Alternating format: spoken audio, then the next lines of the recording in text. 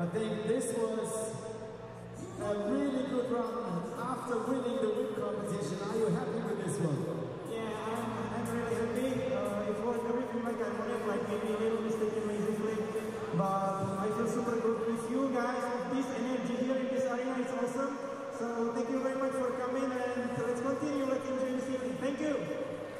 Also so schöne Worte von Martin Zessack.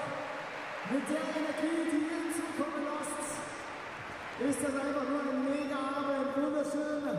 Schickt mich nach draußen und genießen noch eine Zeitlupen hier. Lernen wir auf die Punkte warten.